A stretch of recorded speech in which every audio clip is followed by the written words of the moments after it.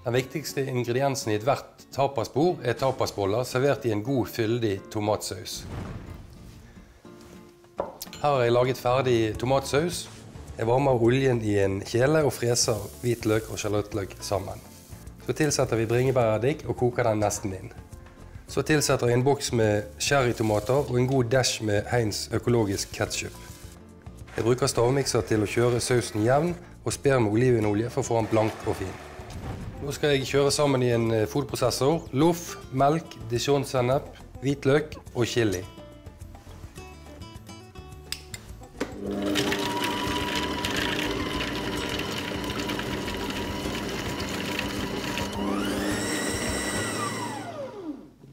Nå er blandingen jevn og fin.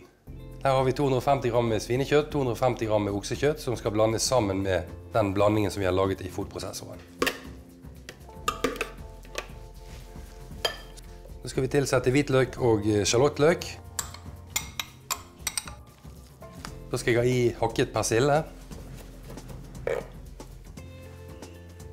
Så blander jeg sammen alt dette her. Så smaksetter litt med salt og pepper. Og da er vi klare til å lage ordentlige tapasboller.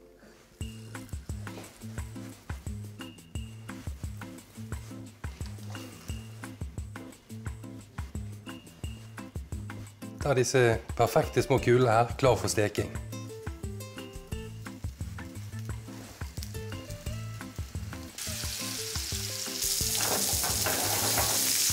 Når de er blitt brun og fin, så heller jeg tomatsausen over eh, tapasbollene, så lar de stå og trekke i sausen.